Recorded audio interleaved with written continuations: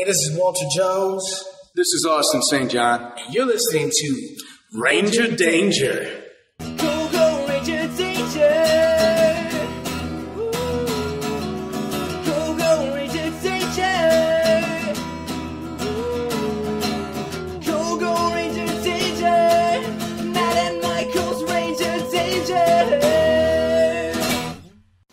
Welcome once again to Mighty Morphin Ranger Danger. This is the podcast where we watch episodes of Mighty Morphin Power Rangers, and then afterwards, and often before, we talk about Power Rangers. It's pretty high concept.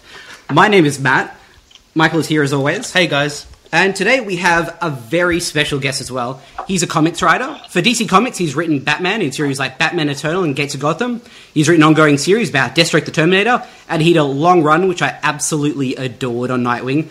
He's also written a short film called The League, available on iTunes, and an ongoing series called Cowl, now available on Comixology, both about a superhero labor union in 1960s Chicago.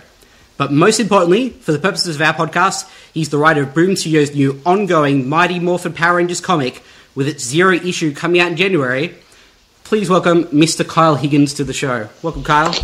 Hey guys, thanks uh, thanks for having me. That was a uh, pretty fantastic introduction, if I uh, if I can say that. Oh, thank you. I appreciate Am that. I allowed to say that Matt rehearsed it three or four times? I definitely did. I'm a little nervous, not going to lie. I wanted to make sure I had it down.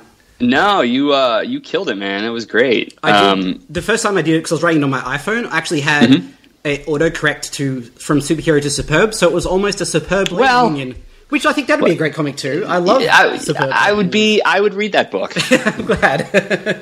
but we should probably talk to you a bit about Power Rangers, since that's what is on the horizon for you and for us in January. sure. So, well, did you watch Power Rangers when you were younger? Was that the experience that you had with it first?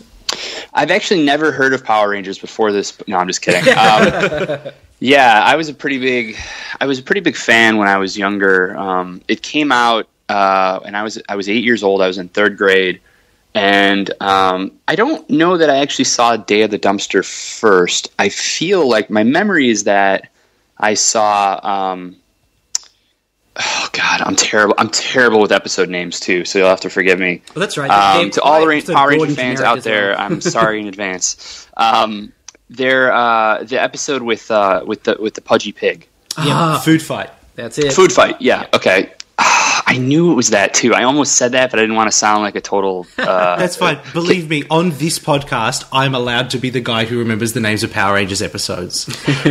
good, my friend, because I might be. I'm going to be hitting you up for that. uh, can I? By the way, what's what is our what is our um, our age range on this podcast as Are far as to swearing? if you'd like to Oh, swear? thank fucking god. Okay. Yeah. yeah. So, um, yeah. Anyway, I didn't want to sound like an asshole throwing out food fight and then being like, "It." Well, actually, it's that's not the title of the episode, but uh, but apparently it was. So Yeah. that was the first episode that I remember seeing, um, and uh, it That- was just it was a So that It was a Saturday morning A thing. giant pig eating everything. Like you don't forget that very easily. no, no, you don't. and like we had, like this was an era before. This was obviously before the internet was. I mean, the internet was around, but it wasn't. I don't think I knew anyone. I'd never heard of it. I didn't know what it was. Um, but uh, so there was no like. There was no kind of warning, and there was nowhere you could go to figure out like what the hell did I just watch? You know. yep, yep. Um, I don't even know that if I if I saw I don't even know that I saw commercials before it. I think I just turned it on on a Saturday morning on Fox Kids, and my sister and I watched it, and we're like, "Whoa, I don't know what that is, but that's pretty cool."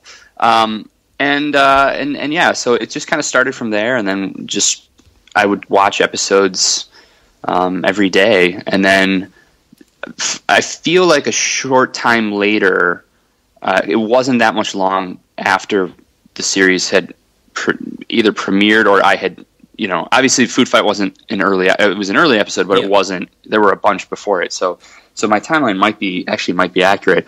I started seeing promos for um, uh, the Green with Evil, you know, miniseries, and they were like running it as in the U.S. as like an event that was going to happen starting on Monday.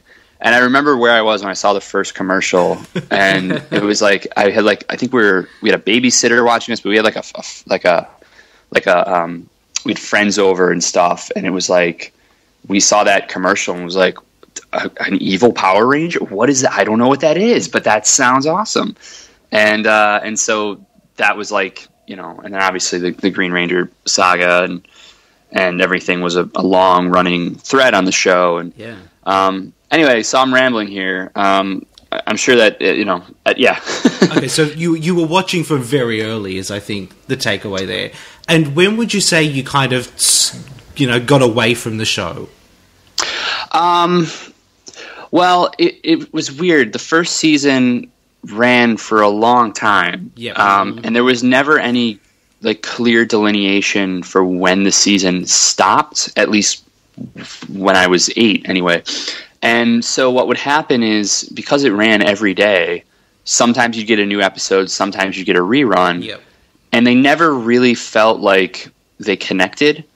Um, sometimes they did, but just the schedule, the scheduling, from what I remember anyway, was was such that like you would get new episodes, but then you get a new episode, and then the next day would be a rerun. It, Yep. it was kind of weird, and so, um, but I would tape episodes, and I I watched pretty faithfully the whole first season. And then um, I remember it was airing on like a Sunday night or something, and I had like, and I only knew that from TV Guide, and I was like, oh, that's kind of weird. And so I just I was going on vacation with my family, and so I set the rec- the VCR to record it. And while I was on vacation, um, I I was in Wisconsin. Uh, I'm actually um, I'm a big Neil Gaiman fan as well, Oh, and so I both. yeah. So what I remember from this trip was that this was the first time I went to House on the Rocks, which Oh, yeah.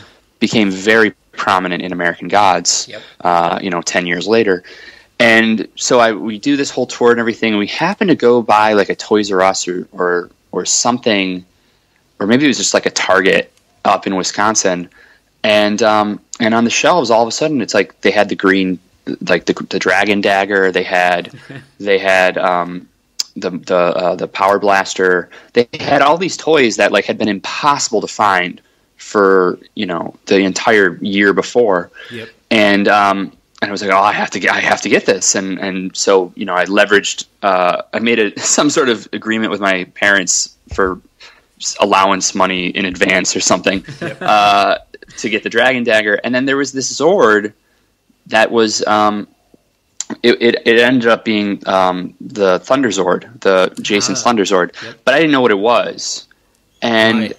it was like I guess this is a thing. Maybe I missed an episode. I don't know. And so, but I bought that as well. And then we got home either that night or the next the next night, and I checked the VCR, and um, it was the mutiny. And so, so it had just aired, and these were the toys. Like, well, the Thunderzord in particular was was being put out um, in conjunction with. I guess now in hindsight, it was the second season starting Yep. and so so so I watched that stuff, and I watched all of the, um, you know, Tommy losing his powers for good, and then I kind of drifted during the second season, but I would come back, and you know, I saw all the White Ranger stuff, and then, um, but by that point, it had been like I was in fourth grade, and it, I don't know if it was like this for you guys, but like. A, a here, a switch flipped like overnight, and like all of a sudden, it was like super unpopular to be a Power Rangers fan in fourth grade. Yeah, And- I think, I think you're right. It's a combination of it sort of dwindling in popularity a little bit, and then you, you age out of it Yeah. as well. And Yeah. the combination of those two things is a, it can be a bit lethal to your fandom.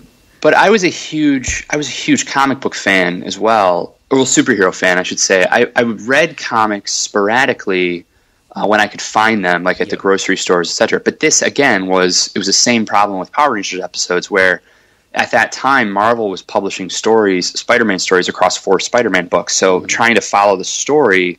Uh, you know, as a kid, when you were only finding episodes like random issues at you know Dominick's uh, or wherever, the supermarket, um, was really tough. So you'd find things here or there. Um, but I was a big fan of like you know the the Spider-Man. Um, I think it was on at that time. Uh, the Spider-Man animated series and the X-Men animated series and Batman. Obviously, I was a huge fan of the Batman animated series. So Power Rangers to me was definitely kind of still in that like sweet spot. And I had like my like a couple like my really good friends. My sister's three years younger than me, and so I had like my next door neighbor was three years younger. He was like my best friend growing up. So I was still like I maintained kind of a fandom, like a Power Rangers fandom, just through like there were people a few years younger than me that were still really into it. Yep. And so it was cool. It was okay for me to, you know, um, to like I could still be a fan like with you know through and with them. Um, but at school, like I just didn't talk about it. You know. We know what that's like. I think. yeah, it was hard enough fitting in uh, at school. then to add on top of that, uh, you know, something that was unpopular. You know, you just didn't. You just don't really talk about it. So. So, do you think Power Rangers in any way led to you getting into comics? Like, there was there some connection there? Oh yeah, totally. Um, I mean, I never wanted to get into comics, um, it, like period, which is really weird to say now. Yeah. Because there were definitely moments, kind of, especially in like my teenage years, where it was like, I, I, I was really into comics and reading a lot, and knew I wanted to make movies, etc. And people would say, like, the comic store that I went to the um, the gentleman who ran it, who's one of my very good friends now, because I've known him forever. Uh, he was a he was a writer, and he runs Moonstone Comics or Moonstone Books, Yep. and they do comics and prose. And so he would, you know, he was publishing stuff and um, and writing other things, and and so I was aware that like this is a job that people do, and we would have conversations about it. And like I kind of dabbled at, at drawing for a long time, and and so it was like, oh, maybe I could draw comics, but I never thought about writing them um, because it just didn't seem like something I'd be good at, and I didn't know enough of like how the world worked or how do people come up with stories. Like in hindsight, I actually wrote. I've been writing since second grade, and some of the earliest things I wrote were actually I wrote. I did like Power Rangers fan films when I was when I was like seven and eight years old, or eight and nine years old. I was making actually from the time I was seven, I was doing little films that with my sister and I would act in, and like we'd make the costumes, and then my dad would. My dad's a photographer as well, and so he would vi- videotape all this, and like he'd teach me about like shots and like the cut, you know, and uh, and um, so we did like a, some Superman ones and some Ninja Turtle ones, and then we did a big Power Rangers one that I brought all my friends in for, and like we built like a command center in our basement, and Wow. we built like we had these two Rubbermaid like trash trash cans, like big like rolling ones, Yep. and they were like um, kind of a slate gray blue.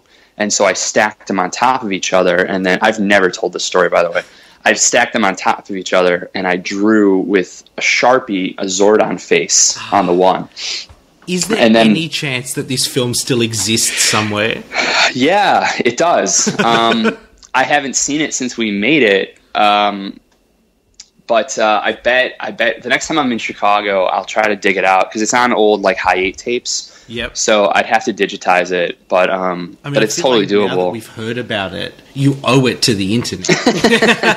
I don't know about that, but um, I, I so But badly yeah, want to I see this totally- either way. Like, even if it's just like we see it and then we never show anyone else, I'm fascinated by this in every way. Well, and and what what I remember is that we, I remember making like helmets out of um, quote unquote helmets out of brown paper bags and then coloring them with crayon for different colored rangers, and then um, and then what else did we do? Oh, that was the yeah.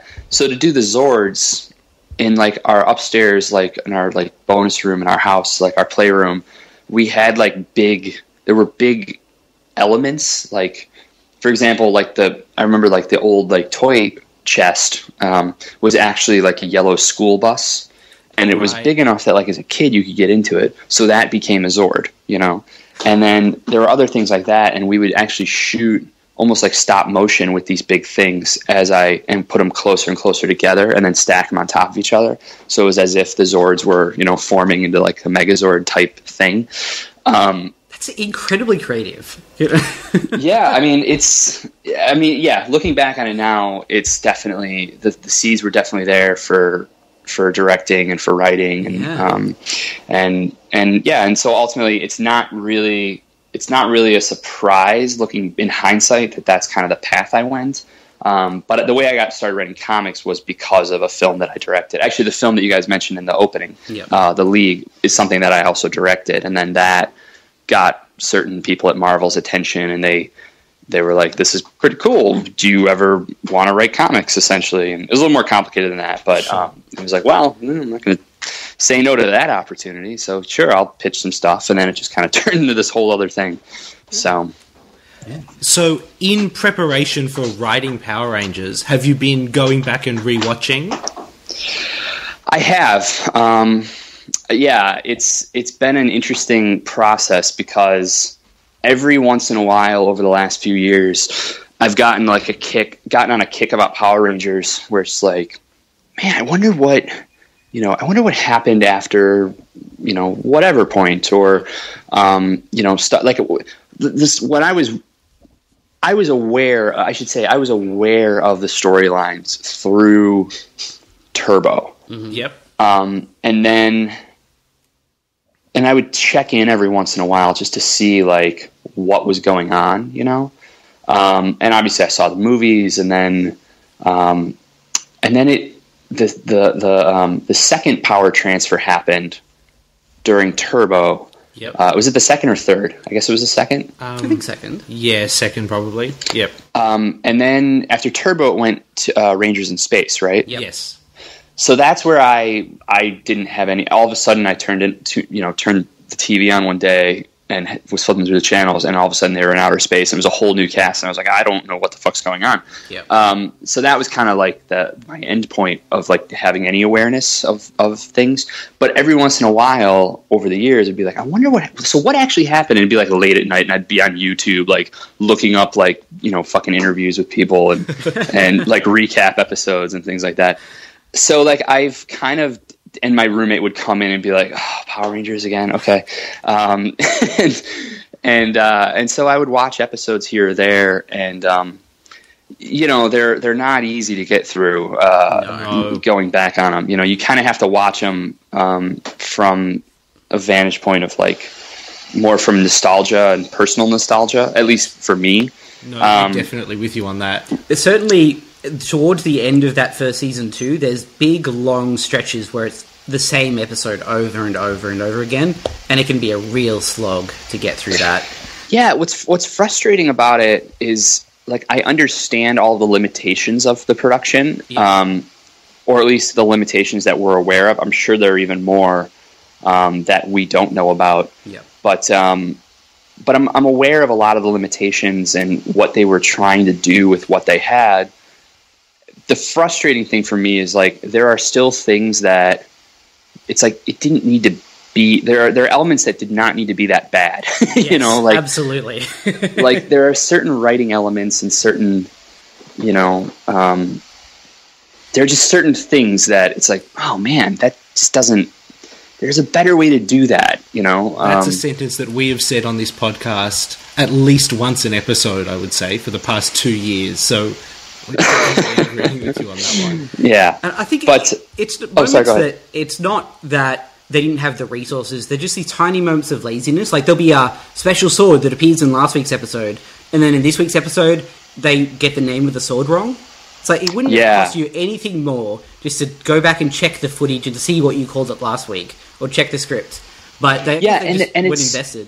and it's super confusing too like how things work and um, that's the thing that i've actually i've been become, yeah very aware of working on the book is like just the power grid or the morphing the morphing grid or the power grid Yeah. and So, Kyle, Is- what is the morphing grid? yeah that's a great question um,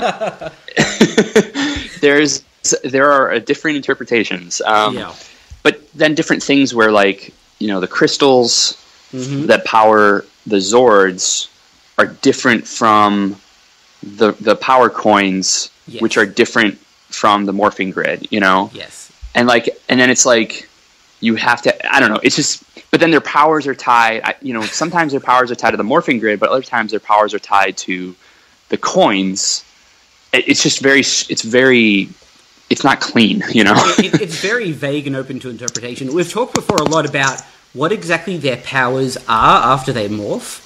Because Yeah. the show certainly tries to get you to believe that once they're morphed, they're a lot stronger. But if you take putties, for example, they seem to have about the same level of effectiveness fighting putties before and after morph. Uh, except that sometimes they that's a have great point So That's a great point. Yeah. It's yeah, it's- yeah. it's nebulous. I think. Yeah, and I, I mean, I always took took it to be that like their powers when they're in full on ranger in, in full on ranger mode, like they definitely have more defensive capabilities. Like they can take more kind of battle damage. yep. um, and that might just be a product of you know the Japanese footage. Obviously, has so many great like um, squib hits and stuff, Yes, and so. and practical effects on the suits, and you don't get that in the American footage with. Uh, Especially with the actors without costumes, Yeah. um, but it does create or, or created at least as a kid for me like the sense that like wow like the damage they're taking there's no it's a good thing they're in they're in ranger mode because they wouldn't be able to take it you know as in normal human mode um, for lack of a better term It's But, fascinating uh, to me too that the technical limitations of the show do as much world building for, than as the writers did, I guess. Mm-hmm. Because all, all we can take from sort of the aspects of the show that aren't explicitly stated is what we see on screen, which is almost universally dictated by resource decisions. So it's yeah, it's very Right. to me that that's where we've gotten to with it. Well, that's kind of one of the cool things with the book that that I'm doing. Um, there, there are a lot of like areas and avenues that the show just wasn't really able to explore Yeah. um, or go down. Um, I don't know that we've ever really seen the inside of a Zord, you know, other than cockpit mode. Yeah, Um, absolutely. you should see the look on Michael's face just then; his eyes lit up. So you've hooked him already. that sentence has made me incredibly excited very quickly. So I mean, yeah, it's it's. I, I said this in an interview at New York uh, Comic Con. Like, I am not. I'm not someone who's going to tell a story just to like provide answers for continuity questions or little things like that. Like, what's I'm going to do a story that shows the inside of a Zord for the sake of showing you the inside of a Zord. I kind of feel like that's a bullshit reason to do a story to tell a story. Absolutely. Um, but if there are avenues to show different things and explore different things, like, I, well, I don't even want to say that because it'd be a big spoiler. Um, yeah, we but, don't, but, want that. We're very excited for the book, so we don't want to spoil. It. But things like yeah, like maybe just the way that this this you know the sequence goes down, we actually do track through the inside of a Zord. I'm all about it because we haven't seen it and we have we don't have the limitations that the show had as far as budget and logistics.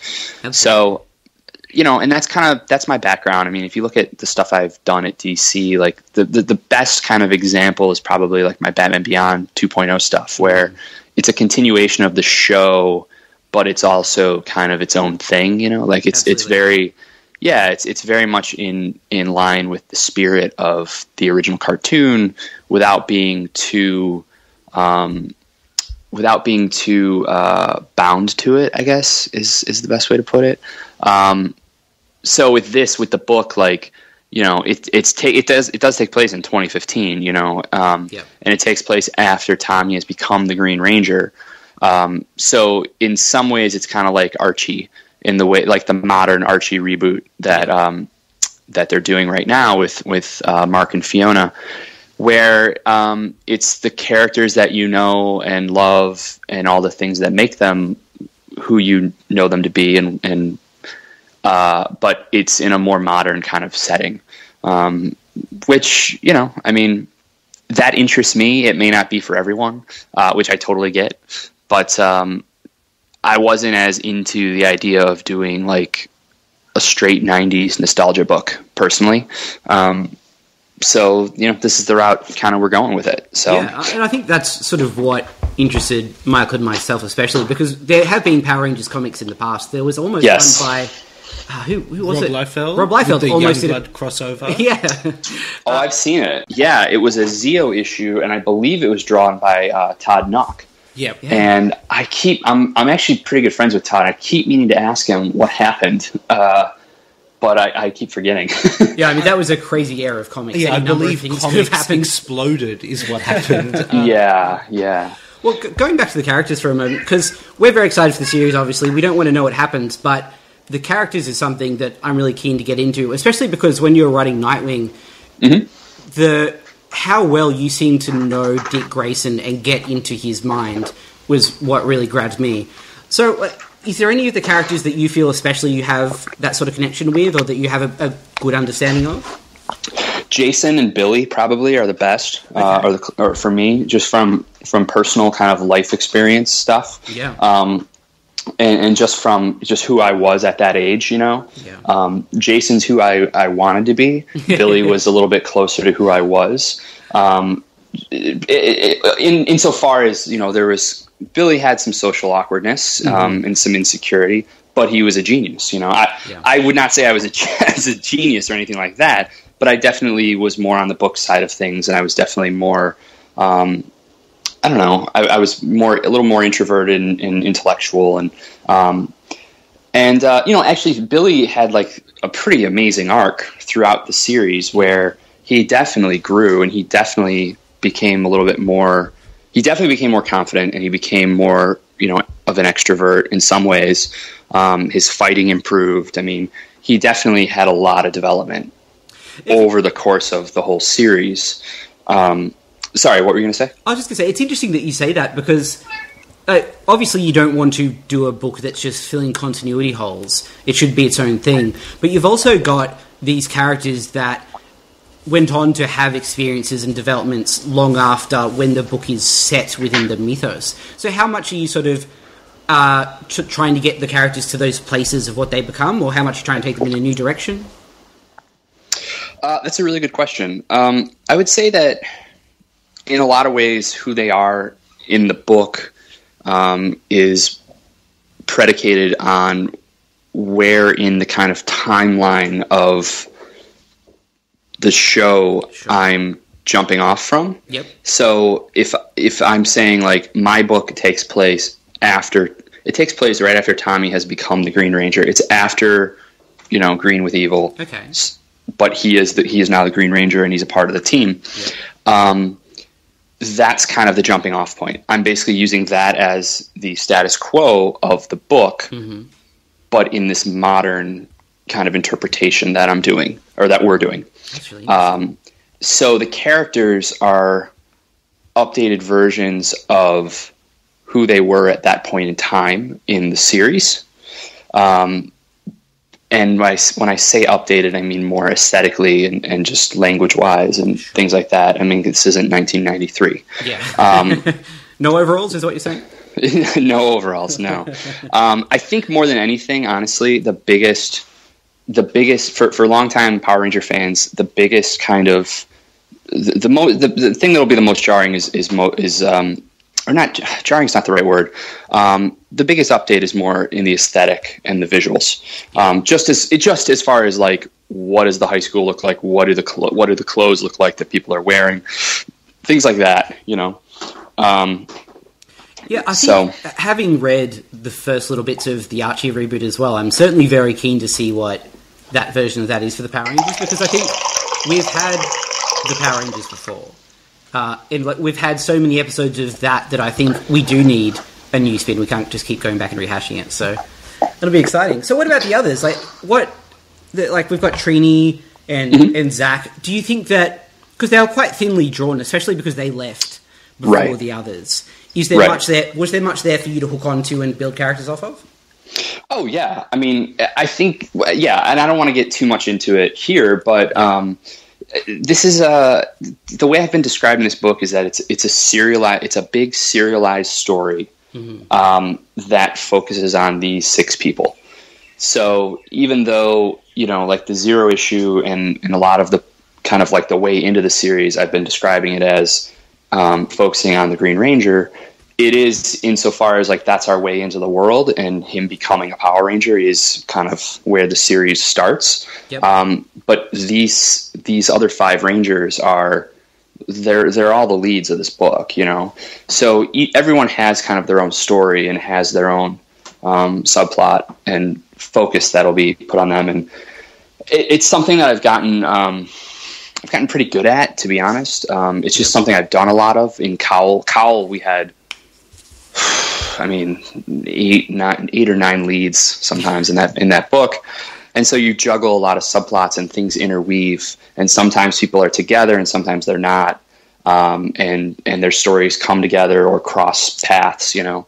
Um, and I, I the, one of the very first things I wrote was Gates of Gotham, and it was like a you know that was like six or seven lead book, and everyone had their own thing going on, um, and it just becomes a plotting kind of um, an issue of plotting and just keeping track of everyone's arc and how it connects and to everyone else's arc, and also how it feeds into what the overall kind of point of the story is thematically or emotionally. You know, um, so so yeah, as far as like Trini and Zach and and um, and Kim and everyone really has has something that I'm ex- they all have something I'm exploring, um, and uh, you know some of the stuff like with with them is new uh, as far as just what we saw of them on the show. Um, you know, I don't know that we ever really saw anyone's parents other than the one episode. No. Um, Kim So- had an uncle or something, but Who was the same as her dad? Or right, right. So, so some of that stuff, you know, in the home life. Um, I'll tell you what interests me the most is, um, and, and it's something that the show did a little bit of, but um, it's the Peter, it's the Peter Parker Spider-Man kind of aspect Yeah. of, uh, or the possibility of being a superhero and juggling your your regular life in high school life and the, all the drama of high school with the drama of and the pressures of having to save the world. That's really powerful stuff, and there's a lot to mine there dramatically. Um, and that was the thing that I mean. That's that's why I love. That's why I grew up as such a big Spider-Man fan because you see yourself in uh, in Peter Parker, but then you see who you really like to be. Um, there's there's kind of like the wish fulfillment aspect of Spider-Man, and to me, the Power Rangers are they they strike those same chords. Um, so th- there's going to be a lot of that as well, and um, and that's something that Boom is like really really supportive of, and that's actually that was one of the big reasons why the fact that Boom hooked up with Saban to do this series was the reason that I reached out and said, you know, I would love, I'd love to, I'd be, I'd, I'd really love to put together a pitch for this, um, just because I know, I know the people at Boom, um, and I know that creatively and aesthetically what their books, what they do, and what their books are like, and you know, stuff that takes place in that kind of age range, uh, character wise, uh, in high school, like Boom's really good at it yeah. and um, they're very progressive in that way. And and I think that's to me that's really interesting for um, for something like Power Rangers. Very much so. And you know, we were going to ask you for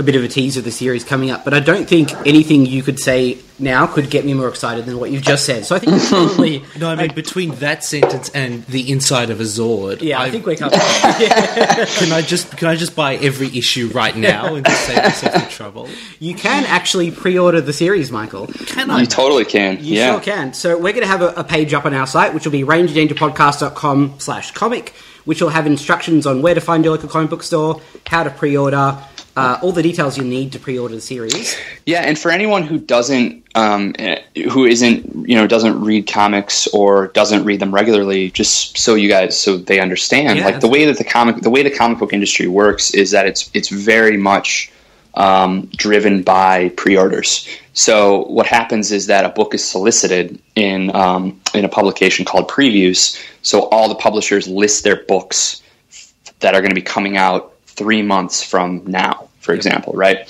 And uh, so right now, the, the issue of previews that is out is for January of 2016, and it goes to all the comic book stores, and then uh, people at the comic book store can also get a copy of previews and well, and they look through and see, oh, what's coming out in January, and then the store will basically order however many copies of the book they think they can sell, but it's taking a shot in the dark, really. Um, what what's best is when customers come and tell their store, I'd like a copy of this. I'd like to pre-order this or put this on my pull list. And then the store counts all those numbers and then that determines how many copies they think they can sell. You know what I mean? Like they can kind of parse it out from there. So um, it's it's kind of like one of those weird quirks of publishing where you know comics aren't returnable. So store owner, or I shouldn't say that. In a, in most cases, comics are not returnable. So stores are kind of left with this very thin margin for error as mm-hmm. far as how many copies they'll order of something, and then depending on how many copies are ordered, that determines the print run of the book. So if you want, if you're, you're interested in the book and you have a local comic shop or you have always thought about going to a local comic shop, uh, now is a great time uh, to to go tell your shop that uh, you know you'd like to check the series out. Um, so that's my that's my plug for comics. Absolutely, and I think, as you said, it, it is so important that retailers and Boom subsequently get the message that there's so many people out there that are excited for it. So we would love it. I'm sure Kyle would love it if, as soon as you stop listening to this podcast. In fact, while you're listening, That's right, you could multitask. We have faith in you. Go and pre-order Power Rangers Zero, and let them know that you're interested. Yeah. And I should say the, the other thing that I would add is um, I'm just getting art back in from Hendry uh, Prasetya. I think that's how you say his last name. Yep. And it's cool. It's really cool. Uh, it's definitely like his character designs. I've, I've seen all the designs for the Rangers. I've seen the designs for um, some of our villains, some of our new villains, um, and uh, old and new alike. And they're they're pretty neat. Um, th- Hendry, I, I knew his stuff a little bit from um, Power Girl that he did at DC Yep. years earlier, and just he's a he's a really dynamic storyteller. Um, and uh, what excites me the most looking at his pages is that there's he has such a um, he has such latitude in what he can draw that when I say something like, you know, we're going to do the inside of a Zord, or we're going to do, you know, uh, I, oh God, there's one, there's something I want to say, but it's so late, and I'm not going to say it. Uh, it, it. It's really cool though. It's a it's a really big visual, and it was like, oh yeah, he can totally do this. Um, so that's pretty exciting for me because Yeah. the other thing, like all of the character drama and all the character interactions and relationships that we're talking about that are incredibly important to me and interesting, is half of it. The other half is that this is a big action adventure book Yep. and you got to be able to do that. I mean, you're talking huge Zords battling in you know in the ocean and in Angel Grove, and um, you got to be able to you got to have scope to your work, you know, um, in order to, to to pull that off. Yeah. And Hendry totally does. So it's going to be a fun time, I think. That's yeah. It sounds like a fun time to me. All right, I think that's a perfect note to end on. Thank you very much, Kyle, for joining us. Yeah, my pleasure. We're very excited to read the book. yeah, oh, I did not think I could be more excited, and I am now so much more excited. Well, thanks, guys. I appreciate the time and uh, and uh, for for all of the early support. No worries. Thanks again, Kyle. All right, take care. Wow, that was something. Holy shit. uh, I'd like to say before we go any further, thank you to listener Corbin, who on Twitter tweeted to Kyle Higgins and said, hey, you should be in the show, Yep. for basically making that happen. Yeah, I mean, I, I, I wouldn't underplay how many emails I've sent in the past month and a half, but yeah, Yeah. absolutely. That's thank you very much, Corbin. Thank you, Corbin. Uh, more people should tweet at people that they should be on our podcast because it turns out we can just make that happen. Yeah, uh, we keep saying that when you leave five star reviews or tweet to people and stuff like that, it's good for the podcast. Uh, and that, I think that was one of the best examples yet of how you guys can help us get bigger and better and cooler and do awesome things. Yeah, we we just tweeted that we were really excited. Yeah. Uh, someone else tweeted, "Hey, why don't you try and get him on the show?" And then he tweeted back, "That'd be cool." And uh, then we just did that interview. Yeah. Now we should probably move on, or I'll just keep gushing for the Yeah, next we. twenty I mean, we took a break after recording that to check that it was all okay and all of that sort of stuff. Yeah. and uh, we've been gushing the whole time. uh, we'd li- I mean, we've got to thank Kyle as well. For Absolutely. Thank you very much to to- come on the show. Thank you very much to Kyle Higgins. And thank you also to Mel at Boom, who I've been liaising with. He, you know, could have said, no, you guys can't have an interview, but he was very happy to make it happen. So, Yeah. uh, go pre order the goddamn comic, guys. Do it. Um, yeah, I- I'm very excited. Me too. I was already very excited, and then he said some very exciting things. Yes. But everyone's heard the interview, so let's move on. We have an episode of Power Rangers to watch today. Yes, Matt, episode 108. Yeah, Storybook Rangers Part 1, I Yeah. believe. Uh, will they get, like, sucked into a storybook, maybe? I mean, uh, I kind of expect so, but maybe that's too much asked for. I don't know. I'm kind. I don't know. I have no idea what's going to happen. I don't either. Before we get to that, though, I should tell you we have a website. Yep. www.rangerdangerpodcast.com, which is where you can find show notes and uh, our Ranger Danger creature feature, which is our list of the monsters. All sorts of cool stuff is on there. You can also contact us on Twitter. We're at RangerDcast on Twitter. We love getting emails. RangerDangerPodcast.com. Nope, let's try that again. Ranger. Ranger Podcast at gmail.com. We're also on YouTube, Stitcher, iTunes, Google Plus, uh, Hulu. We're not on Hulu. Hulu's for TV shows. Um, We have a shop. We have a Ranger, shop. RangerDangerPodcast.com slash shop. Thank you for saving the, me there, Michael. That's My okay. brain has been fried by the interview, apparently. you've done 130 of these, Matt. It's only fair that I do one occasionally. Okay, so before we go watch the episode, we have a bit of Power Rangers related news to discuss. yeah, I mean, I wouldn't even go so far as to call it news. I would call it a rumor. Okay, Um, there's news that there's a rumor. Yeah, or there's a rumor that there's news. Yes. Uh, so there's been news on the Power Rangers movie front. Yes. Uh, we will have already discussed that in this week's Dino Charge episode. So Yep. you guys have heard all that already. If you haven't, you can go check that out. But there was also a rumor from one of the sources of some of that rumored news, uh, Collider, that potentially the next season of Power Rangers after Supercharge could be produced by and aired on Netflix. Um, so here's the other thing I've heard about that rumor. Yep. Is that uh, apparently someone said on Ranger Board Yep. that it was being spread by a banned Ranger Board user who was just trying to stir up nonsense. Right. Um, so yeah, the rumor is that the next season will be called Power Rangers Shuriken. Yep. Uh, it will skip ToQger and go straight to Ninja. Um, and yeah, it will be a 32 episode season on Netflix. Here's the thing: Yep. kids can't say shuriken. Okay.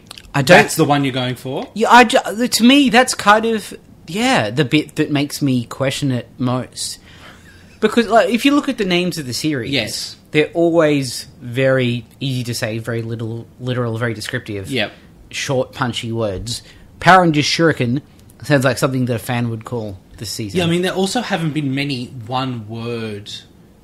There's Zeo and Turbo. Turbo. Yeah, But I feel uh, RPM is it's three you know, words. three words or one word, Yeah. one like, so is SPD. But really, that's Power Rangers something something. Yep. is how they've been for a long time. Um, here's the reason that I don't think that it's real. yep. Um, it's what I want to happen. Okay. And I know that sounds like Michael doesn't think that anything good will ever happen on the show.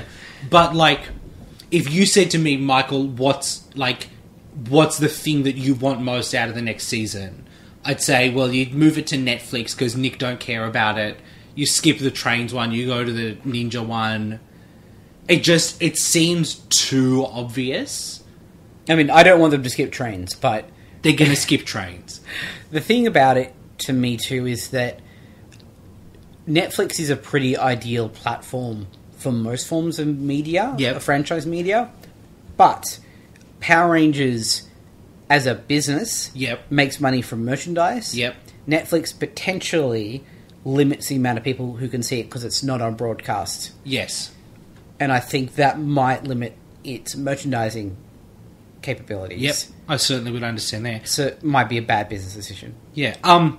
I mean, look, Nickelodeon have proven that they don't really care about Power Rangers. Yep. Um. Between the like the scheduling fuck ups with this year's Christmas and Halloween specials and the dumb big hiatus that stops everyone from giving a shit about Power Rangers for six months, it's just Nickelodeon are, are using it as a schedule filler. It's not like one of their priorities, clearly.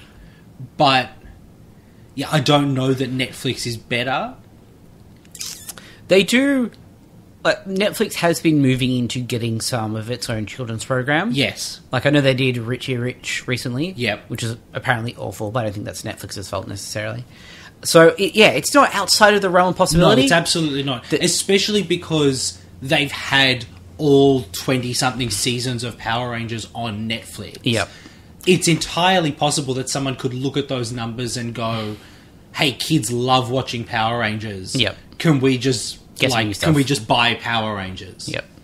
especially if they're looking to grow that area of the business and they're just not even looking for they're not that the show jumped out at them they're just looking for some properties to build hmm. Then maybe they oh and easy. having like a name brand with movie coming out soon movie coming up and kind of buzz building, it would be. I think it would be good for them. Yeah. I don't know how good it would be for Power Rangers. I think whatever Netflix would be paying them Yep. would have to be enough that Saban is willing to take a cut on the merchandising. Yeah, I mean, yeah, who You know. and who knows what that like? Maybe it actually brings Power Rangers to a lot more people. I don't know what the difference is between Nickelodeon's install base and Netflix's. You know what though?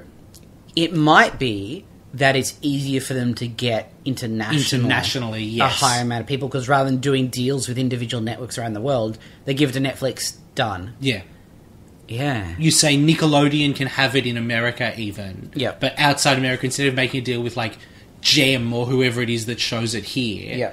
It's just on Netflix everywhere else. Yeah. Something to that. The other interesting thing is this 32 episode season thing. Mm. 32 episodes was like the standard length of a Power Rangers season for quite a while. Yeah. They've gone either down to 20 or up to 40 these days. Depending on how you look on how you look at it. I think up to 40. I mean, realistically, Dino Charge is two years long. Yeah. And it's 40 episodes. Yeah, absolutely. Um, so 32 would be slightly fewer episodes. On one level, it gives them more latitude to cut bits and play around with bits and not use weird episodes. On the other level, it's an extra eight or nine episodes worth of footage that you're not really using at all. Do you think that it would be, or and, and I don't know if this is covered in the rumor, if that would be thirty-two episodes a year as opposed to forty over two? the rumor says 32. I can't imagine they do like two 32 episode seasons. Yeah. Because then that's actually 14 episodes more than a Power Rangers season. And there's no way they're going to shoot 12 original episodes unless Netflix pays a lot of money. Yeah, which you Which know isn't actually a lot of money, would be like 12 cents. it does override a lot of things. That money. That's the the thing about it is it is entirely plausible. Yeah. But given that it's coming on the heels of this other rumor that Collider have reported, Yeah. that appears at the moment to be false, Yeah. potentially, I think until we get an official Power Rangers Netflix press release, I don't think there's any particular reason to assume it's happening. No, no, I, I'd agree with you there. All right, well, how about we go watch an episode of Power Rangers? Yeah, Storybook Rangers. Storybook Rangers. Do you think sucked into, or maybe Monster comes out of a storybook? I think sucked into just because of the construct of the name of the episode, Yeah, but I'm not sure. I'm excited to see what happens. I don't know what's going to happen. Yeah. and we've got five episodes left of the season, right? That's Yep. pretty crazy. Yeah, Then we're on to ninjas and stuff, appropriately, yeah. considering our conversation just then. Ninjas, I like ninjas. Most people do, Michael. Most people do. Let's do it. We're going to go watch Storybook Rangers Part 1. You can too if you have Power Rangers on your Netflix. Uh, if not, maybe you have it on DVD. Or you could just listen to the episode without watching the episode of Power Rangers. Yeah, watch it in the theater of the mind. See you guys soon. And we're back. That was that was interesting. Matt, we've seen some weird episodes of this show. This is pretty high up. There. Oh my god. What? It raises so many questions. What? I can't. What? What? What the fuck? All right, well, should we take it for the top, or should we quickly address the issues that are troubling you most? Oh, I feel like if we. Oh my god. They get. Fr- no, we have to take it in order because otherwise I'm just going to explode. Okay, we don't want that. Let's ease ourselves into it in that case. So there's a book fair at Angel Grove High, Michael, Yeah. and books are available. Billy is very excited because quantum physics can be fun! Exclamation mark. Yep. Is available from the fair. Yep, he's been looking for it for ages, Matt. I think he's been looking for a way to convince other people that science is fun, and clearly been failing, so he turns to a science book to do it. I like to think that this is a long series of books called Incredibly Dorky Thing Can Be Fun. Yeah. He's like, he's got all the other, like, you know, aerodynamics can be fun and calculus can be fun, but he was just missing quantum physics. Yeah, the first book is collecting books about dorky things can be fun. Kids read that and they're like, wow, they can be fun. I'm going to get the next one. yeah, it's very clever actually. Yeah. Uh, so basically, if people buy books, Yep. they raise money for the school library. There's a lot of book propaganda in this episode. Book bookaganda. No. I'm a fan of book propaganda. So, but look, I love books, so I'm okay with it, but it's very on the nose. I mean, look, if it was about like it's a Twinkie fair, Yeah. and the more Twinkies you buy, the better it is for your school. It would be weird. that would be weird. Yeah. Um. So yeah, Aisha can't choose. There's lots of books. Um. One of her friends, I guess, comes over and says she has to check out the career table because there's a book about breaking into the fashion business. Is that something Aisha has been wanting before? Uh, vocally on the show, no. I don't. Yeah, I don't remember that. I mean, we know she likes shopping. That's true. That's definitely on the record. It's not out of character. Yeah. It's just not like obviously in character. Sure. Uh, there's another book for sale at the fair, though, Yes. that Bulk and Skull find. Yep. It's called How to Make Monsters the Easy Way, or something like that. Making Monsters Made Easy. Yeah, making monsters made easy. what? I, I have a question about what the actual book is because Yeah, right? obviously the purpose of the book is not really important to the plot. No, they But- have to create a monster, so there's a monster in this episode. Yes, but is it like monster costumes? Is it like monster effects for for movies? Is it like a black a book of black magic that will teach you to make an actual monster? It has to be costumes, surely. I mean, it's this universe. But they've got like the process involves nine volt batteries, and Yeah, well, you know, wizards and witches have upgraded. is is it just about creating Frankenstein's? Yeah. Is that has someone just written a Frankenstein manual? Well, as I've said before, like witches exist in this universe. Yeah, and sometimes they go to space and talk to skulls. Yeah. So maybe they one of them just put out a book. So, uh, Kimberly has always liked fairy tales. Matt. yes. Um, she dreamed about being a princess being rescued by a prince on a white horse. Yep. Which is not very forward thinking of her, but No. yeah, we'll let that one slide. And Tommy says, How about a white tiger? Yeah. Eh? This is almost flirting. Almost. Which They're- is- this is the closest they've been to being in a relationship for about 60 episodes. Yeah. And it's weird because previous to this, it was almost like they just decided to drop it. Both, like, the show writers Yes. and within the universe, those who as characters have decided this. We're not going to do this Yeah. anymore. But they keep just slightly nudging it in a way that it's weird because we know they're never going to do anything about it, right? Yeah. So We're what- certainly not going to get like a story of the first time they have sex. the- I, okay, I was I was going to like go to first date, but that's Oh, okay. Well, I, I think that's not impossible. Power Rangers have been on dates on the show before. Yeah, I know. I just don't feel like they're ever going to do it with these two. Right, they're not going to fight like a herpes monster. No, Herpes a you're taking this to a very weird place. Yeah, That's my job on this podcast. You said- I thought that was my job. We're- We're trading. I can have a turn. Herpesaur! Yeah. Okay. Uh, so Bulk Skull had that book, and Yeah. then Rocky finds a book about martial arts. Yeah. To which Tommy says, "Can I read that book after you're done?" And before Rocky even manages to open his mouth, snatches the book out of Rocky's hands It's about meditation, Matt. and just So, you know, starts reading it. And to me, that's the perfect representation of the relationship between those two characters. right. Rocky gets something and he's like, "This is cool," and Tommy's like, "Yeah, I'm, I'm going to do that." Yeah, that's for me now because I'm the leader of the Power Rangers. So sorry, Red Ranger. Uh, so Kimberly finds a book that her dad used to read to her when she was a kid. Yep. It's called Grumble the Magic Elf. Yes. Uh, Grumble is its name. That's not like a, a set an instruction. Yeah, it's not a command. Yeah. um. So Tommy buys it for her. Yeah. And yeah, it's almost like they're actually dating on this show now. yeah. Are they? Could, if they're going to be, can they just be dating? Yeah. And if they're not going to be, can they not be date like? No, I understand. I'm with you. Yeah. What? I don't know. I don't know. So there's a lot of book stuff Yeah. happening. Uh, so on the moon, Yep. Rita says, "Oh, this is very interesting," and we get Squatt and Baboo saying, "I really hope she tells us what she's thinking because I've got no idea what's going on."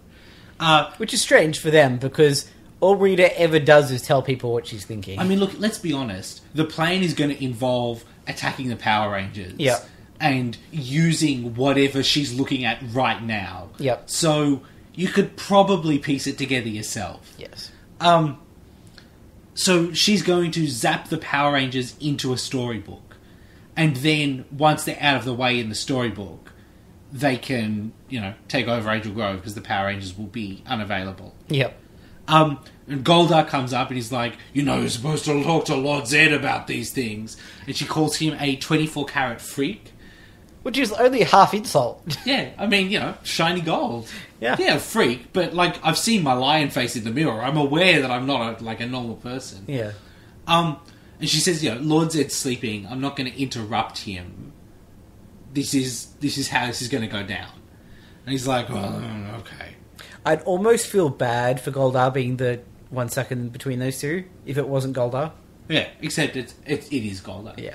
So Rocky comes up to Tommy and Kimberly. Yep. And says, hey, I'm going to the youth centre. I'm going to meet the other guys there. Do you guys want in? And they're like, yeah, sure. So they all they leave to go meet them. I had imagined in my head Yep. that the youth centre is incredibly close to the school. I was absolutely of that understanding too. right? Except in this episode, they have to walk through the park. Yes. Honestly, Michael, I think the youth centre is still right next to the high school. They just weren't thinking about it in this episode. Is the answer to this, to this conundrum that you're having?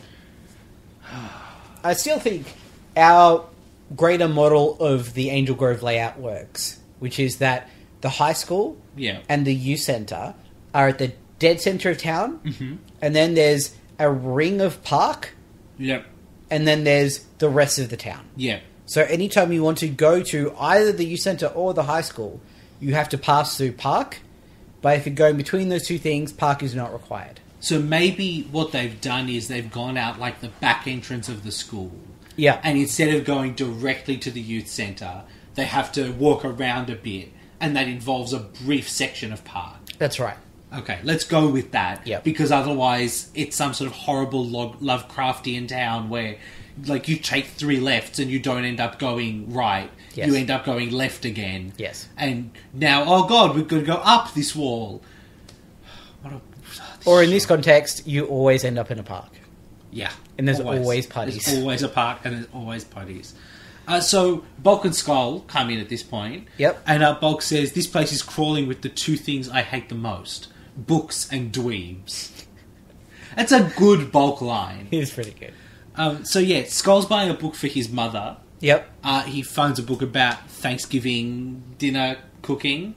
And Skull, uh, Bulk says she's going to need it because I've tasted her cooking. Yeah, this line is basically Bulk saying to Skull that Bulk has slept with Bulk's mother, right? I mean, I find it hard to read it any other way. Yeah. Although there is like the way that Bulk has just had dinner at Bulk and Skull at Skull's house. But the way he says it, it he says it like a put down. Yes. And I don't Your think. mum can't make dinner. Yeah, You nerd. yeah, that's not a put down. But saying, I love spending time at your mum's house is. Oh god. The image of like because in my head, Skull's mother is Skull in a wig. Oh, if Skull's mother ever turns up on the show, she will be Skull with the wig. So, Like- So the idea of Bulk and Skull's mother, Yeah. is, it's just Bulk and Skull. yeah. That's not. That's not okay. Clearly okay for Bulk. oh god. Uh, so their plan is they find this book about monster making. Yep. And their plan is, well, we make a monster. The Power Rangers come out. We find out who the Power Rangers are. There's a couple of steps in there that I don't think they've thought through. Yes. Namely, all of them. Yes. But specifically, even if they make a monster, how does once the Power Rangers show up, how do they unmask them? Yeah, that that have not thought that through. They're superheroes with guns and axes axes and shit. The thing is, they've been around the Power Rangers Yep. several times. Yep. That has not led to them uncovering their identities. No. So, I- I'm just relieved that presumably we're almost at the end of this story arc for Bulk and Skull. I mean, at some point they've got to turn into orangutans. That's a little while off yet. But we've got five more episodes this season. I'm pretty sure You we think don't. it's a season long arc? That is my hope. Okay. Very strong hope. I mean, their their first thing was kind of a season long arc. Yeah. So yeah, maybe. Yeah. Who knows? I guess. All right. So uh, Kimberly and Rocky and Tommy are walking through the park when the book flies out of Kimberly's hands. They're like, "Why'd you throw your book?" You- Yeah. Tommy says to Kimberly, Why did you throw the book away? When there was no one there could have possibly thought that happened. No. Not only because there was giant waves of magic involved in front of their eyes. Yeah. Yeah. I, I mean, what could? ah anyway, Tommy's an idiot. Uh, so it goes and it lands in the bin. Yep. And they're all like, "Oh, I didn't do that. Let's go look at the book." And they get sucked into the book. Dun dun dun. Is anyone surprised? Like, no. But I was surprised by the execution. Okay, so they're inside the book, and inside the book is basically them on a soundstage with like a watercolor background Yeah. CG behind them. I think CG'd is almost a bit too. Okay, yeah, It's like bad hand drawn animations stitched in. it's fascinating to look at.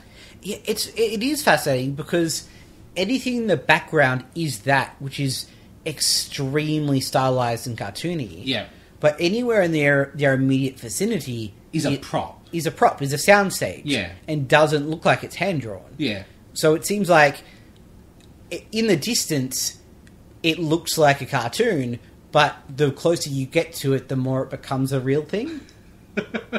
Which sounds awesome, but it's just an artifact of terrible production values. Yeah, I mean the version of this where they spent like more than sixty cents. Yeah. looks great. Yeah. the version of this that we get looks weird and unsettling. And almost like they're using like stock animation or something. Like there's this bit where in the background a reindeer pops its head out, like head out, looks around fiendishly and disappears. Yeah. That has nothing to do with anything at any point. Well, Matt, if you don't think that next week's episode has got reindeer saurus, I have another thing coming. no, you're probably correct. No, I to be yeah. honest. Um. Okay, so Kim figures out where they are. Yep. They're in the book, and they're like, "Well, let's call Zordon." We should say specifically the Grumble. The Yeah, Grumble the magic elf. yep. Um, they can't call Zordon because books. I don't know. It's another dimension. I'm fine with that. Yep. Uh, I'm not fine with another power of theirs that's been cut off, but we'll get to that one. Yes. Um, so Matt, who do they meet? Well, clearly Grumble the magic grumpy elf. So Grumble the magic elf Yep. Uh, is dressed kind of like Santa, Yes. except his face is very obviously a repainted Mr. Tickle Sneezer. Yes. And what's fascinating to me about this character Yep. is that he's into in a Santa costume. Yep. Santa is a Christmas thing. Yep. And he's a Jewish caricature. like very much so. He is an upset New York Jew, isn't yes, he? like very blatantly. and not like angry, just constantly disgruntled yep. in a way that almost comes yeah, off as racist. Matt, Like, that's because an evil magician put a spell on Grumble Yeah. and made him a grouch. made him Jewish. But if he delivers all of the presents, he won't have to be Jewish anymore. I'm just Is that an actual thing in Judaism? I don't- 'Cause, Look, if you told me that in Judaism, if you deliver a bunch of presents, you get to not be a Jew, I wouldn't be super shocked. Oh, yeah, the whole thing just rubbed me the, the wrong way, I guess, is what I'm getting at. It's just, it's so weird. Yeah. It's, oh boy. Yeah, so he's got to deliver a bunch of presents to orphans. Yep. And then he cannot be a grouch. Yep. I have questions about where the orphans live in this fantasy landscape that is dominated by, like, evil ice creatures.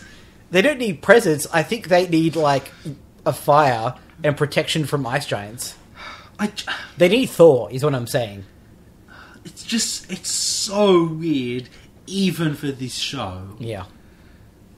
I mean,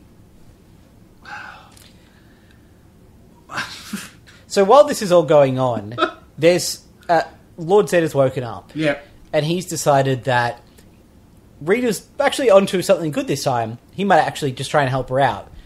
So he realizes that if the presents get delivered, Yeah. the story will be over, and that could potentially mean that the Rangers get to leave. Cause Well, here's the thing: as soon as Lord Zed says that, yeah, everybody in the universe treats it as an absolute fact, yes, including everybody who is not privy to that conversation. yes, Lord Zed says, well, if he delivers all the presents, the story ends and they get out. Yep. And then everyone goes, well, we have to stop him from delivering all the presents.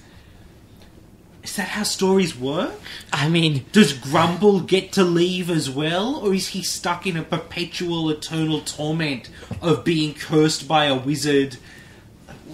Yeah, I think if I was the Power Ranger and I heard that, my initial thought would be, okay, so I kill Grumble, his story's over, I get to leave, and Grumble is freed from his, like, cyclical Well, hell. no, but if the story can't end, yeah. they can't get out. I'm saying that you change the story, though. Yeah, but I, I think that's the thing. They have to reach like the last page, ah, I and then they if, if the last page is Grumble's decapitated head, Yeah. and like a Power Ranger holding it up and going, "Now I am Grumble," Yeah. then they're stuck there. I, it it makes no sense. Like every time I finish reading a book, Yeah. you know what I haven't been greeted by Power Rangers. No, but, like, I think it, kind of, in children, instills the notion that those worlds are fictional and that those characters don't exist beyond the end of the story. sure, which is a shitty thing to implant in the minds of children. yeah, Like it, you should have a sense that the world that you're going into is fully formed and will continue. And when the book says happily ever after, there's a life after that. sure. Not everything reverts back to the start and they have to go through that horrible experience again. Matt, given the overt Christmas theming, and we'll get to a snow world in a bit, Yeah. would it surprise you to learn that this episode came out at Christmas time? Yes, actually. That's good because it came out in May. ah. This is a heavily Christmas themed episode that was released in the middle of summer. Right. Okay. I'm less surprised by that. Really? Because this is Power Rangers.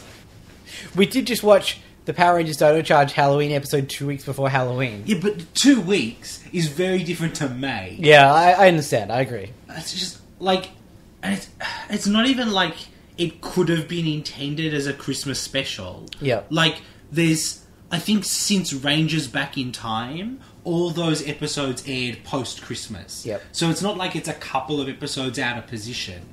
It's, It's like way 20 out. episodes too late to have been a Christmas special. Yep. It's very strange. Grumble the Magic Elf. The Magic Jew Elf. who looks like Mr. Tickle Sneezer. I do feel bad for Rocky in this situation as well. Right. Because- he's the third wheel. He's yeah, the third wheel, and would be normally. I, in any group of three people, if Rocky's one of them, he's the third wheel. I'm imagining even if Rocky's on a date with someone and Yeah. there's an actual third wheel there, Yeah. Rocky is still like, He becomes the third wheel. oh god.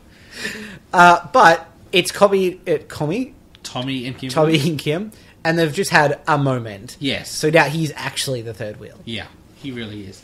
So Lord Zed sends some putties down, Yep. uh, at which point some helpful Angel Grove High students stumble across this book in a bin. Yep. And proving that no one involved in this show had ever met a teenager in the 90s, they say, why would someone throw away a perfectly good book?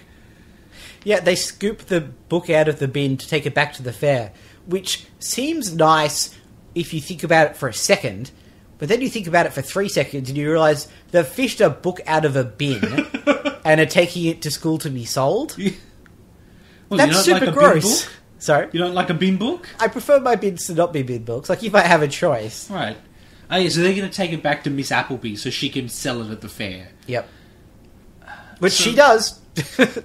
Someone out there ends up with a bin book. Yeah, so uh, the putties come, and Yep. then the kids have taken the book. So they chase after them, and look, eventually they get close enough to get zapped into the book.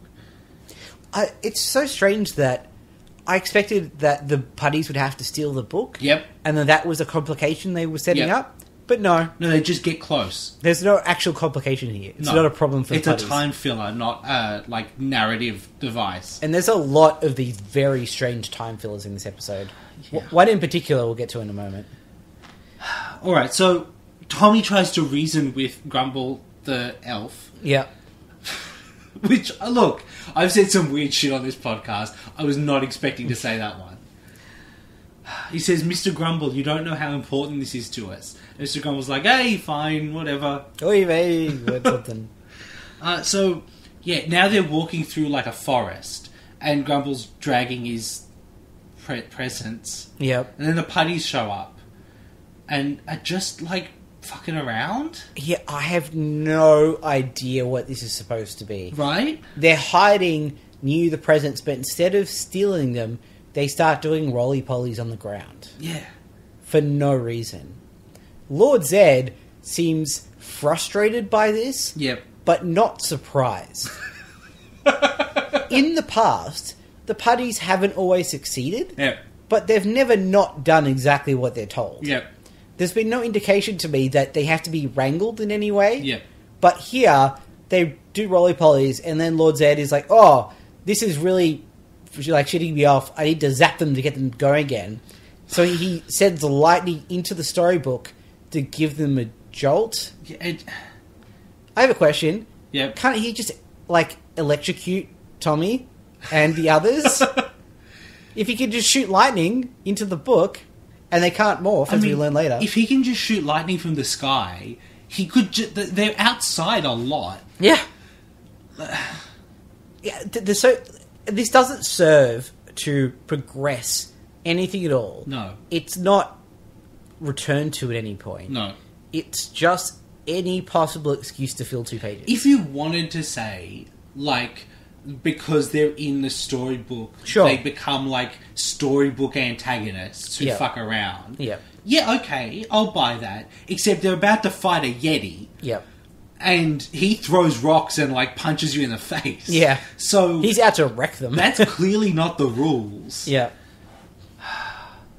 This show is insane, and this episode is even more insane than the regular insaneness of this show. Yeah. So the putties then grab the presents and teleport away, Yeah. whether it's outside the book or Inside the book. And if inside the book, why inside the book? and if outside the book, then the Power Rangers are actually just fucked now. Yeah. Do they just set the presents on fire? When the presents come out of the book, are they still presents? And if so, does that mean Lord Zed could just start picking like Yetis up out of books and using them? He should just go to a library and just borrow like Dracula. Yeah. and just Just unleash Dracula. if what it turns out is that Lord Zed can actually pull monsters from books, he has been going about this entirely the wrong way. Yeah. Just find like an alien novelization and make him fight a xenomorph. Like, Yeah. Or like just like find some Lovecraft. Yeah, Like here you go. Here's some Elder Gods. Universe over. I win. this show. Oh god, we're, we're not even like halfway. No. There's oh god. So Bulk and Skull are trying to make a monster, and then they don't have batteries, and then Bulk leaves. Yeah, I'm very curious about what sort of monster they're making and why it needs batteries. Because as I was saying before, it could be a monster costume Yep. or it could be anything else. Yep. If it needs batteries, it's probably not just an outfit. Yep. So are they making a robot? I mean, like I hope so. Maybe it's got like glowy eyes or like sure, okay. you know, maybe. But Uh, speaking of horror characters, though, yeah, Skull is decked out like, you know, stereotypical Dr. Frankenstein. Yep. It's pretty great. It is pretty great. Yeah. What's not pretty great is the five minute slapstick sequence. Yeah. where he lost the book. Yes, I guess.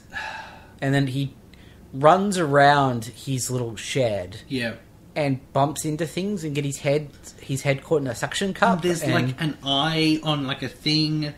what is that? What is that, that? part of the monster, I, um, or is it just like a weird like animated tube that he keeps in his shed? and if so, what? yeah. I mean, Jesus Christ. Did Skull accidentally create sentient like AIs, but is too stupid to realize it and keeps them in his shed because he doesn't understand them? Anyway, so the other Rangers go looking for Rocky and Tommy and Kimberly. Yep. And they go to they go back to Miss Appleby and they say, "Hey, have you seen Tommy and Kimberly?" And then Adam goes, "Or Rocky?" like Rocky is clearly not the you know. Have you, have you seen you know Tommy and Kim who we like, or I guess like if you've seen Rocky, Because if Rocky's there, Tom and Kim might be as yeah, well. that's right. Yeah. They were together, so I guess if we find Rocky, we'll find the rest of them. Yeah. It, uh, it'll be worth finding Rocky if we're able to get Tommy and Kimberly back. So no, she hasn't, but she knows they left. On the topic of noticing something is missing, Yeah, did you notice that Billy isn't wearing his glasses? he isn't. I don't know if that's going to be a regular thing. so I know that David Yost hated the glasses, Right. and they kept telling him to wear the glasses because nerds wear glasses, Yep. I'm And it- with them so far. and he just kept taking the glasses off Right. to the point where they gave up trying to force him to wear glasses, and Billy just stopped wearing glasses. I mean, that seems reasonable. Yeah. And I, I'm curious when it happened because I, I feel like it's been happening for a while and I haven't noticed it. I feel like recently there's probably, and I'm sure someone will go back and tell us. I feel like it's probably been like sometimes with glasses and sometimes without glasses. Yep. Depending on how much someone was willing to argue with him. Yeah. I don't know. I don't. I don't care either way. The character is established enough now that he doesn't need the glasses to be like, "Hey, that's the dorky one." No, and he's much less like overalls and glasses, bubbling like sort of Yeah. character, and much more capable now. So He got contacts. yeah, They're like two inches thick because he had terrible glasses. yes, All right, so uh, the Rangers who are inside the book are now in like a f- cold winter area. yeah. What happened to the elf? Uh, Matt, I don't. I don't know. You know, okay. I just wanted. I thought maybe I missed something. No, I don't. I don't know. Okay. Um, so they're cold. Yeah. And then all of a sudden, a Yeti shows up. and uh, speaking of monsters that are clearly other monsters, Yep. this is Reflectorilla, or whatever he was called. Yep. But painted white and blue. Yeah, with a wig on top of his head. Yeah. Yeah. Um, I don't mind the, like, costume reuse. It's, This is much more effective than the other one. I mean, we say that. Yeah. But, like, Mr. Tickle Sneezer was in episode six or seven. That's true. That was a Like, long time It's ago. only because we loved slash hated him so much. Yeah. I feel like if you didn't have particularly strong memories of Mr. Tickle Sneezer, Yeah. it's not a terrible elf costume, Yeah, that's probably true. other than it, it looks a little dumb. He also like can't talk, No, the mouth doesn't move. and he's a, one of the costumes that very clearly has a mouth that's meant for talking that doesn't work. Yeah. That kind of throws you a bit. Yeah. Uh, so this snow monster just starts fucking him up. Oh yeah, just ripping into them. Throwing boulders, he just runs into Tommy.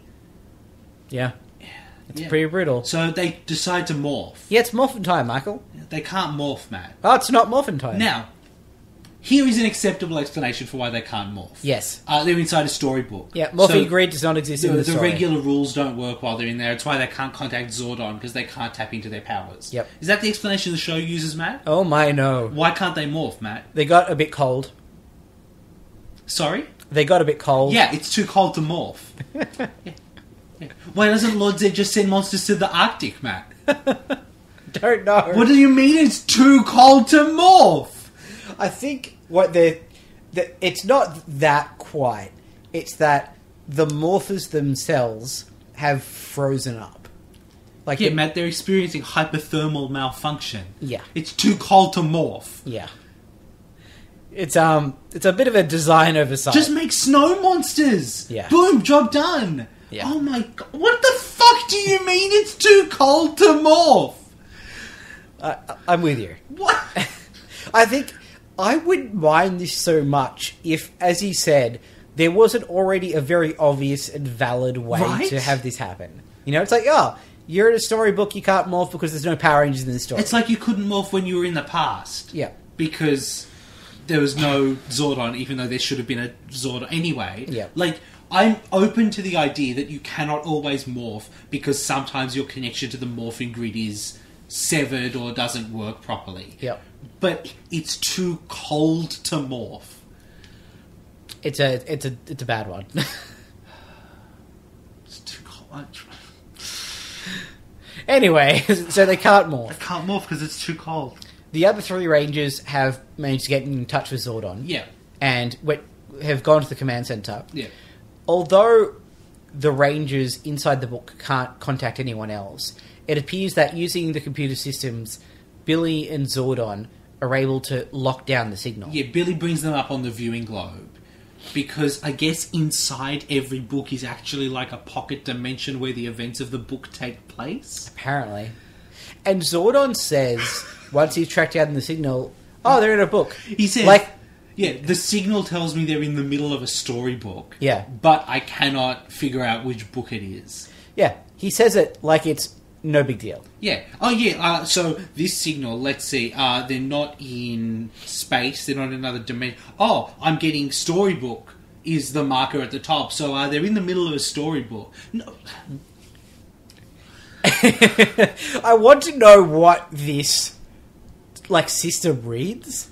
Like, because that's such an abstract notion. Yeah, is, is it it like okay? No, it doesn't look like they've been turned into pasta. um, they're certainly not existing within a giant metaphor of like an existential crisis. Uh, storybook. yeah. Oh, I. Hang in there, Michael. It's not like one of them could recognize the book, and they'd be like, "Hey, that's that book that Kimberly was telling us about," Yeah. or But this is what we're talking about with Kyle earlier, right? Like, It's just- they, they get themselves into these situations where they write terrible things that had obvious solutions that were better, but take the terrible ones anyway. And I don't, I don't know why. the signal tells me they're in the middle of a storybook. The middle. There's a different signal for the start and end of a storybook. Yeah. And like, so, if you're in the middle of the story, Yep. Does that mean that does that relate to your physical location?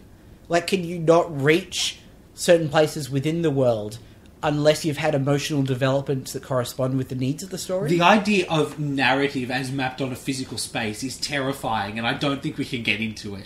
but I'm fast. Like this, this is the stuff that I live for, Like, Michael. like, is there? A, let's take a different story because we don't know what this story is. Yeah. Like, is Tatooine different?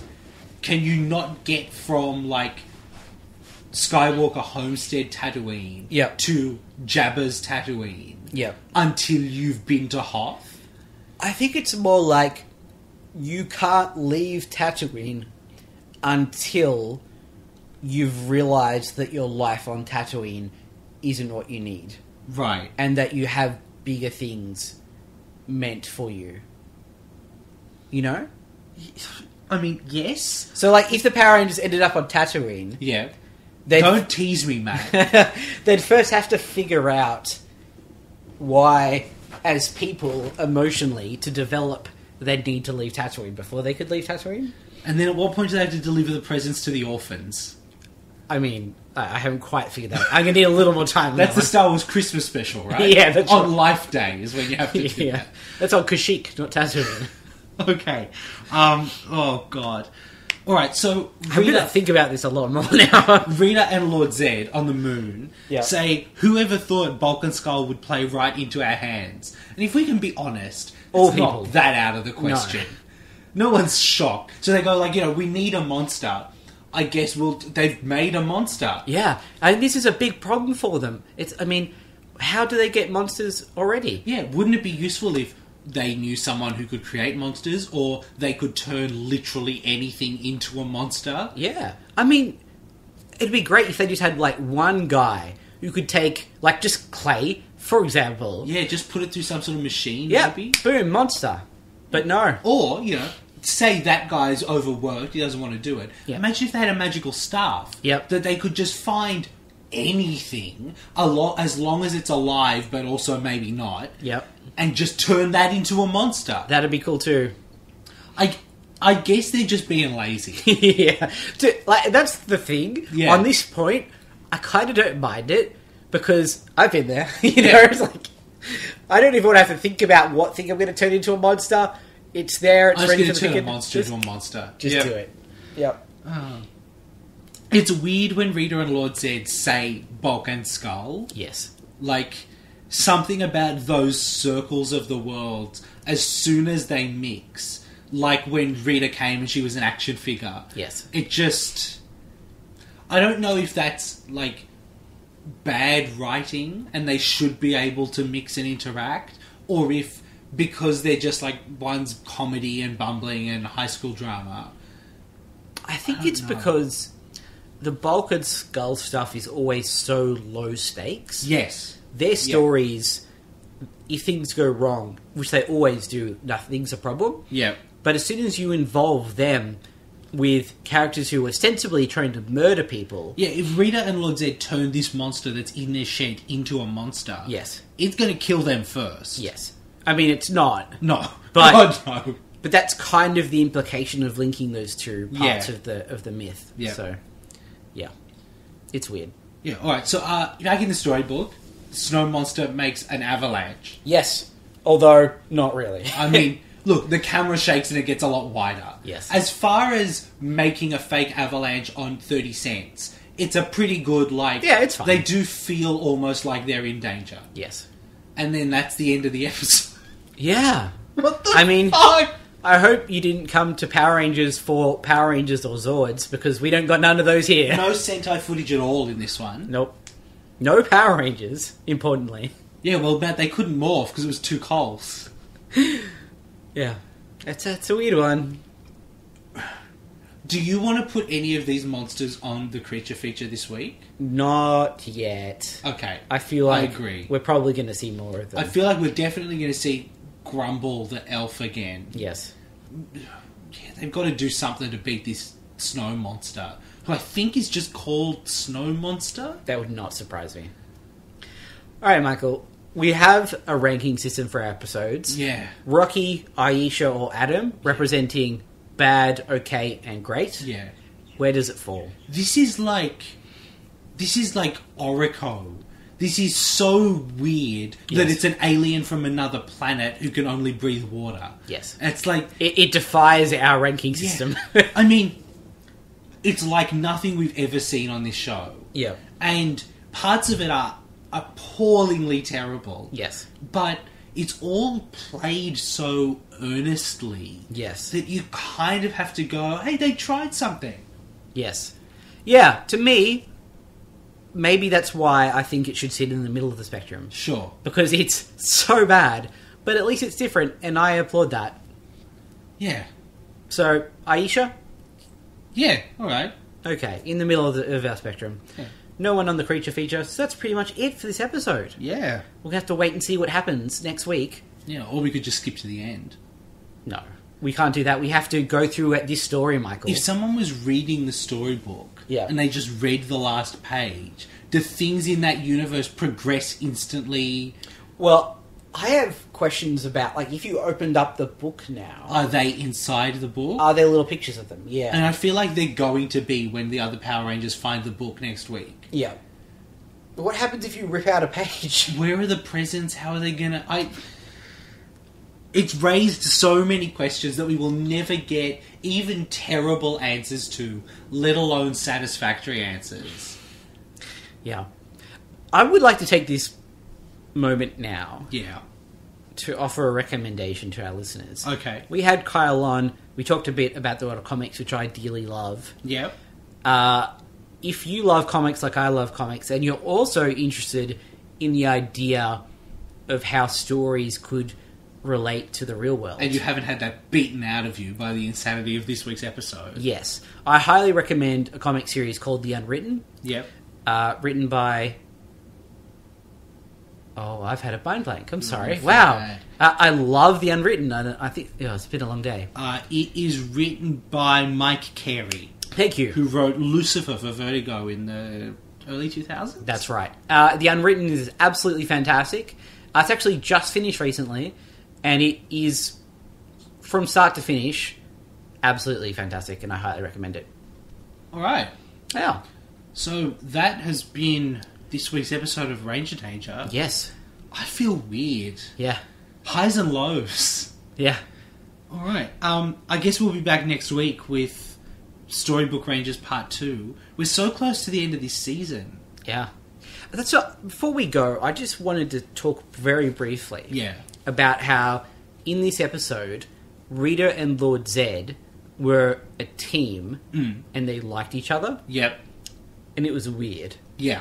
And kind of nice because the status quo will be changing again shortly with the change of the seasons. Will it? Somewhat. I have absolutely no idea what's coming up. I'm really excited about that. until we get to Turbo Yeah. and Divatox has a spaceship in the middle of a lake. Yeah. Like, I you know a bit. I but- know there's like robot bad guys at some point. Yeah.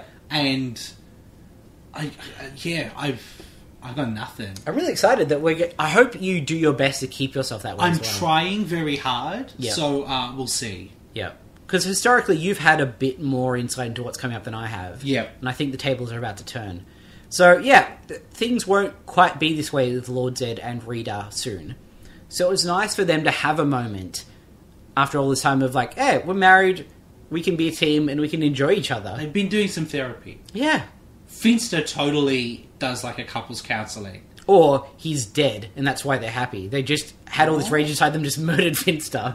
That's why they needed Poor monsters. Finster. Yeah. I Yeah. hope Finster's not dead. They're bad people, Michael. Aw. Alright, well, on that incredibly sad note, uh, we'll see you guys next week. Have a good week. Unlike Finster.